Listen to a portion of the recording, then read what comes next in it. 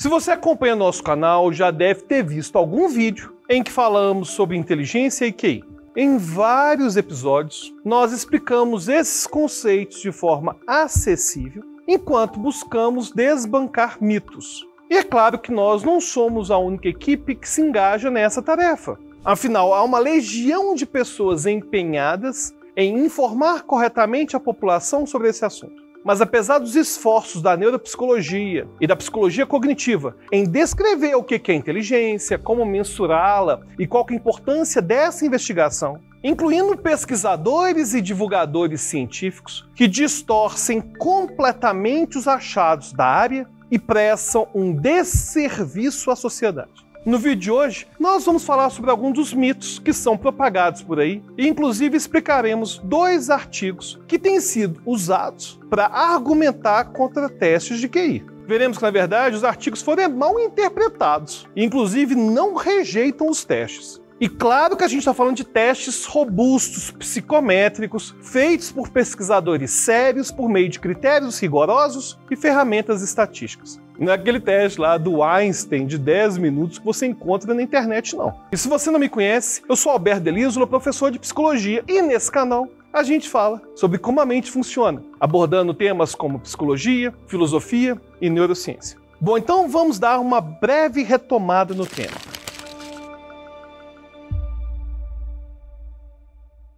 As definições de inteligência dos autores da psicologia cognitiva se aproximam de algo como uma capacidade geral que está subjacente a várias atividades mentais, como raciocínio, planejamento, pensamento abstrato, compreensão de ideias complexas e aprendizagem rápida de novos conceitos. E como já falamos em vários outros vídeos, essa definição abarca os achados científicos que indicam que as nossas capacidades cognitivas tendem sim a ser relacionadas. Ou seja, se alguém tem um bom potencial para habilidade linguística, as chances são bem grandes de que essa pessoa também tenha um bom potencial para habilidades visoespaciais ou para velocidade de raciocínio. É claro que novas pesquisas são feitas para descrever melhor a nossa concepção de inteligência e entender sua manifestação. Mas ninguém, ninguém sério da área de psicologia duvida que 1. Um, os indivíduos apresentam capacidades cognitivas que se correlacionam. 2. Que essa capacidade varia na população.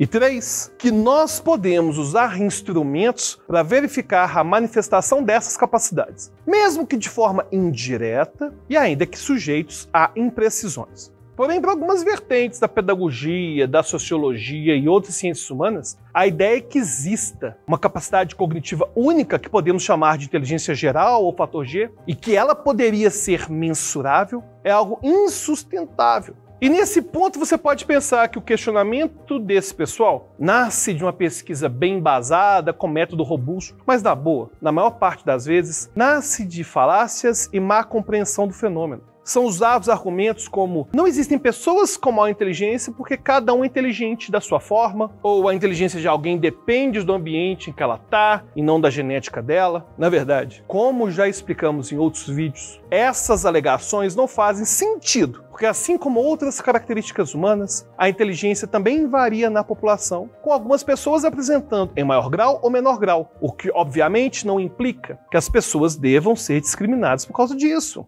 E além disso, nós já sabemos que tanto fatores genéticos quanto a história de vida do indivíduo são importantes para o florescimento de sua inteligência. Quase sempre, a contestação sobre a definição de inteligência vem junto com a suspeita sobre o QI e os testes utilizados para medi-lo. E uma das falácias mais difundidas nesse caso é que, ah, não tem como definir uma pessoa a partir de um número. E nós já explicamos em vários vídeos que o QI, na verdade, indica a posição que as capacidades de um indivíduo ocupa em relação à população de mesma idade. Entenda, QI fala sobre porcentagem. Então não é nossa intenção voltar nesses temas a fundo, mas vamos deixar aqui a indicação dos outros vídeos que já fizemos sobre o assunto. Nós achamos importante retomar brevemente tudo isso, porque essas falácias têm sido difundidas até mesmo por divulgadores científicos. Pessoas que deveriam verificar os dados apresentados em artigos, pesquisas. E esses pesquisadores, às vezes, se convencem de falácias, não leem os artigos que apresentam, né? Lê assim de forma indireta, também conhecido como orelhada E aí acabam passando desinformação, e isso é muito nocivo para a sociedade. E o resultado disso é que os seguidores dessas pessoas acreditam piamente nos divulgadores, porque eles têm credibilidade por serem cientistas nas áreas deles. E a ideia que eles apresentam é aparentemente coerente e supostamente embasam a luta pela desigualdade. Inclusive, já tem um vídeo aqui no canal falando sobre o grandstanding, que é o virtuosismo moral. E esse virtuosismo moral está aniquilando a divulgação científica aqui no Brasil. No momento em que as pessoas falam mal de teste QI, na verdade, elas estão querendo enaltecer a sua empatia. Afinal, é injusto ter pessoas com mais inteligência ou menos inteligência. Na boa, se é justo ou injusto, nesse momento, não importa. Não importa porque a gente está falando de dados. Inclusive, é essencial a gente saber as implicações sociais desses resultados. A gente tem um problema grave envolvendo desemprego de pessoas que têm inteligência abaixo da média. As pessoas precisam se inserir profissionalmente. E cabe aos pesquisadores, às empresas, aos governos, posicionar essas pessoas, dar uma função social. Não é falar que todo mundo consegue, não. Então, na verdade, o grandstanding que esse virtuosismo moral, essa sinalização de virtude, estraga até mesmo a divulgação científica. Porque temas que envolvem biologia, ao menos à luz do nosso olhar, vão ser imorais mesmo. É injusto. A natureza é injusta. Só que a gente não pode ignorar os dados, ignorar os fatos. Aliás, teste QI, já falei várias vezes aqui no canal, surgiu para ajudar crianças com dificuldade na escola. Já surgiu até fake news aí de que teste QI tem a ver com eugenia do nazismo. Cara, que loucura. E eu vou deixar bem claro, eu não sou contra leigos falarem desse assunto, não. Eu não acho que tem que ser formado em psicologia para falar desse assunto. O problema é falar bobagem. Aqui no canal mesmo, a gente fala de Heidegger, fala de física quântica, fala de renascimento, a gente fala de vários temas aqui, mas a gente tem responsabilidade com todos os vídeos que estão nesse canal. Inclusive, é importante ressaltar que canais de divulgação científica como esse têm muita responsabilidade social sobre aquilo que é dito. Não é um canal qualquer dando opinião. Então, quando o leigo vê uma pessoa que é acadêmica afirmando que testes de QI são instrumentos falhos que querem reduzir você a um número, é claro que o leigo vai acreditar. A gravidade desse problema é imensa, porque não é só a desinformação. Isso levanta uma barreira entre o público e os profissionais que se utilizam desse tipo de teste. Pensa bem, a área que hoje mais aplica teste QI é a neuropsicologia nas chamadas avaliações neuropsicológicas. E o objetivo desse tipo de serviço é fazer um mapeamento do funcionamento do indivíduo, tanto em nível cognitivo quanto no dia a dia dele, para identificar a origem de uma dificuldade sentida ou para investigar a suspeita de um transtorno mental. É um processo que geralmente leva algumas semanas e envolve entrevista com o paciente, com seus familiares, com a escola, né, no caso das crianças, envolve aplicação de testes, observação clínica e muitas vezes discussões com outros profissionais. E com frequência, os testes de QI são usados como uma das primeiras ferramentas para mapear o caso. E é importante deixar claro que eles não são os únicos recursos, já que nenhuma conclusão pode ser tomada apenas com teste QI. Agora imagina que o paciente tem desconfiança sobre esse tipo de teste. Ou até mesmo pais de uma criança autista com dificuldade de aprendizagem, vê o videozinho aí falando mal de teste QI. Se isso acontecer, esse pai e essa mãe podem criar resistência já no início do processo, porque ouviu de uma pessoa cheia de títulos, uma pessoa que ela confia, que os testes não cumprem seus propósitos. E dessa forma, a avaliação neuropsicológica não serviria para nada. Ou seja, tanto o diagnóstico quanto o engajamento no processo ficam comprometidos.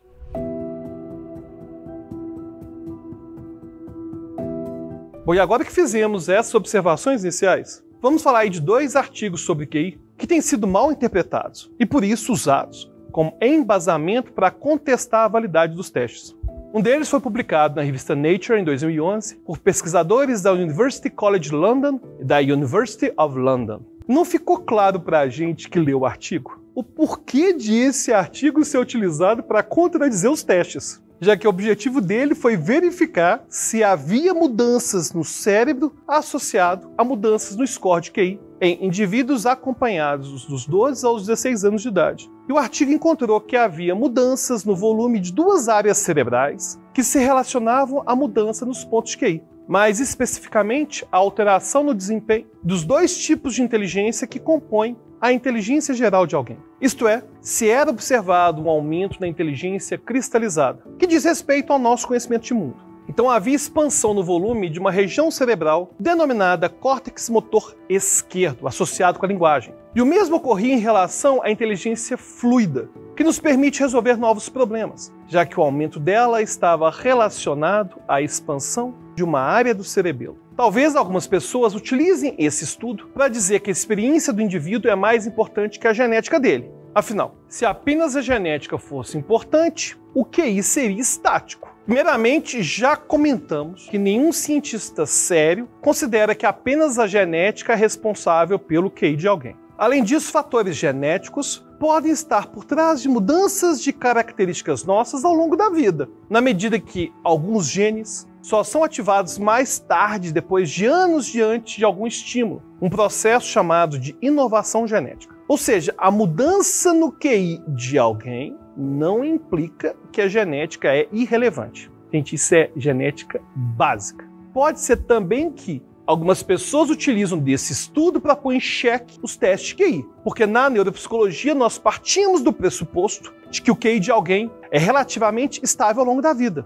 Mas o estudo encontrou que um terço dos participantes demonstraram mudança significativa no QI. Se a intenção é questionar a estabilidade do QI, certamente usar esse estudo não faz sentido nenhum. Primeiro, porque sempre falamos de uma tendência à estabilidade, o que não quer dizer que o indivíduo vai ter sempre o mesmo QI por toda a vida. Além disso, vários fatores podem ter influenciado as mudanças de pontuação dos indivíduos, principalmente em uma fase de tantas modificações do sistema nervoso, como é o caso da adolescência. E vai lembrar que 66% da amostra, ou seja, a maioria, não teve alteração significativa na pontuação do QI. E por último, mas não menos importante, esse foi apenas um estudo com um número muito restrito de participantes. Foram apenas 33 adolescentes. Portanto, não dá para a gente realmente questionar achados que já foram replicados várias vezes sobre a estabilidade do QI, simplesmente apresentando um único artigo com resultados que nem mesmo contrapõem o que tem sido achado na literatura científica. Agora, passando para outro artigo. Trata-se de um trabalho publicado na revista Proceedings of the National Academic of Science, também em 2011, por pesquisadores da University of Pennsylvania, da University of Texas at Austin, da Purdue University e da University of Pittsburgh. Nesse artigo também é abordado um assunto recorrente no estudo sobre QI. Trata-se da relação entre QI e desfecho de vida, ou seja, quanto maior é o QI de alguém, maior tende a ser também seu desempenho acadêmico, os anos de educação, saúde física, longevidade e o desempenho no trabalho. Contudo, os pesquisadores investigaram se a motivação para alguém realizar um teste QI afeta o desempenho final dessa pessoa. E como esperado, foi encontrado que sim, o resultado do QI de alguém pode ser influenciado pela motivação. Mas peraí, com várias observações. Primeiro, ainda que a motivação de alguém influenciasse no resultado, o QI ainda continua sendo um preditor importante dos desfechos de vida. Ou seja, mesmo que os pontos pudessem ser um pouco modificados devido ao engajamento no teste, ainda assim o QI tinha relação com saúde física, longevidade, desempenho no trabalho e principalmente desempenho acadêmico. E outro fator importante: o estudo encontrou que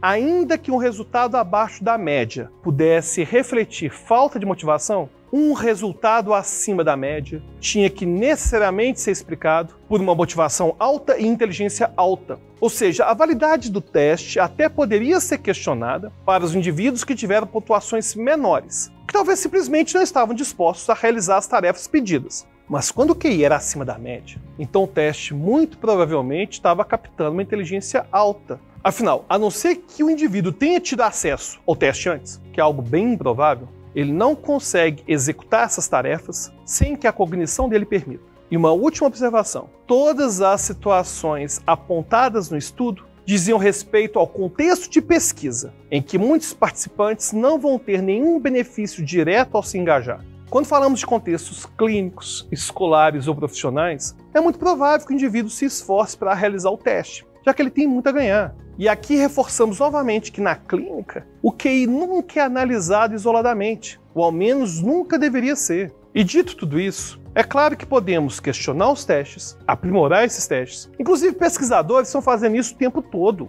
Mas saber que existem algumas imprecisões dos testes não quer dizer que eles são inúteis, não. Principalmente quando as imprecisões são mínimas e quando tomamos as devidas atitudes para reduzi-las. E um recado antes de terminarmos o vídeo de hoje. Falando agora como alguém que é formado em psicologia, que tem mestrado. Falando como divulgador científico. A gente sempre fala para vocês desconfiarem sempre. Vá atrás das referências que as pessoas estão usando. Procurem outras fontes. Questionem sobre o que não ficou claro. E suspeitem, principalmente quando se tratam de pessoas falando com muita propriedade sobre áreas que elas não dominam. É claro que a maior parte dos conteúdos aqui do canal vão ser baseados em filosofia, psicologia, neurociência, ou até mesmo outros assuntos da área da saúde que estão mais próximos da minha formação acadêmica. Quando a gente busca alguma temática externa, a gente toma muito mais, muito cuidado para fazer uma pesquisa bem mais minuciosa, recorrendo a várias referências em artigos e livros. E eu não estou te falando aqui para assumir aquela posição de não acreditar em nada ou de ficar contestando tudo, de você virar negacionista. Estou falando aqui de um ceticismo saudável o que implica que ele seja comedido e com embasamento. Mas fica uma dica: se existe sinalização de virtude, a chance desse vídeo não ser realmente científico e ser proselitismo político é muito grande. E muitas vezes a informação até parece razoável, mas soar coerente não implica que é verdadeiro. No caso dos testes QI, existem pessoas de grande projeção que, sem entender o básico de neuropsicologia, cognição, divulgam atrocidades sobre esses instrumentos que são muito úteis e que, inclusive, são ferramentas essenciais para pessoas que têm déficit cognitivo. E esses divulgadores científicos acabam fazendo desserviço para a ciência que eles tanto defendem. Afinal, é desonesta. Essa desconfiança em cima de ferramentas que são elaboradas de forma tão séria e tão importantes na nossa sociedade. E você caiu nesse papinho aí de que teste QI não serve para nada? Deixa aí seu comentário. E claro, se você quiser debater sobre esse tema diretamente comigo, é só virar apoiador, né? Clica no link da descrição e a gente se vê lá no nosso grupo exclusivo de apoiadores do Telegram. A gente se vê lá.